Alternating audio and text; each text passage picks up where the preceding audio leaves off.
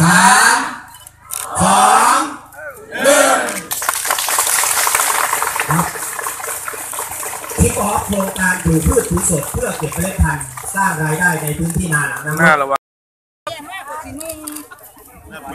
อย่าบังหน้าท่านนะครับ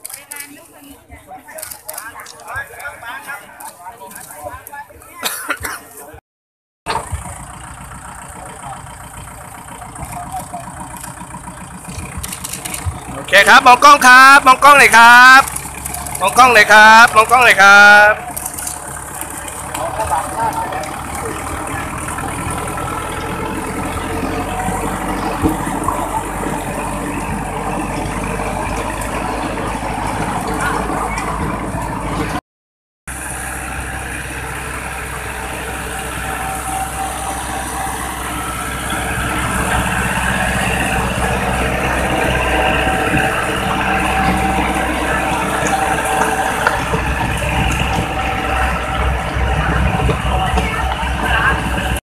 ไปดูแหล่งที่ทำกิน แหล่งน้ำสุกร์ที่ผ่านมาผมเดินทางไปจังหวัดสุราษฎร์ธานี และไปนอนที่กระบี่เพื่อไปยึดที่ดินแปลงใด ที่นายทุนเอามาปลูกปาล์ม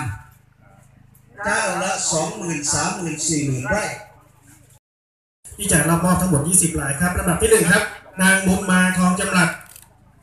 ลำดับที่ 2 นายบัณฑิตประดับแก้ว ย้ายย้ายถือ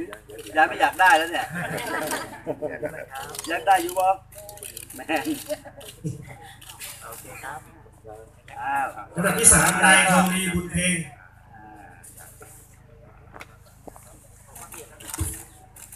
ลำดับที่4นางสมจิตนามประภา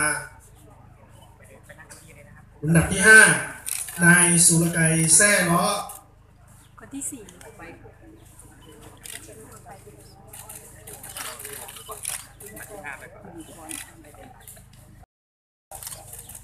ลำดับที่7นางเยียบชัยศรีลำดับที่8นางสาวบุญมีบุญอุ้มเดี๋ยวเดี๋ยวก่อนค่ะคุณป้าค่ะเอานางสาวบุญมีเดี๋ยวก่อนนะมีมาก่อนนางสาวมีบุญการมีตื่นเต้นนะครับพี่น้องเกษตรกรครับ อ่าลงมาลงมาลำดับที่ 9 นายสวัสดิ์ฉลาดแย้มลำดับที่ 10 นายชาญชัยมักสิทธิ์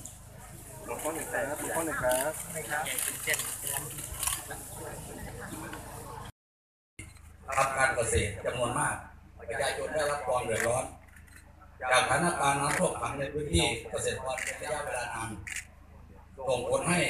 พืชผลทางเกษตรได้รับความเสียหายเป็นอย่างมาก โดยเฉพาะในพื้นที่นาข้าวซึ่งสูญเสียจำนวนสามแสนสองหมื่นกว่าไร่ปัญญากำกับดูนะครับ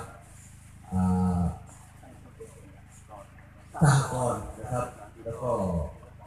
อะไรหลายกรมอะซึ่งมีเกี่ยวข้องกันทั้งหมดนะครับ โดยสรุปในภาพรวมแล้วนะครับ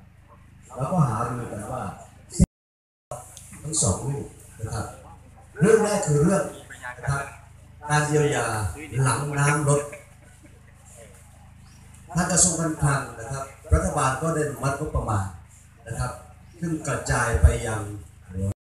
รถรถป้ายตรงนี้นะครับคุณหมอครับผมเสียงานครับครับ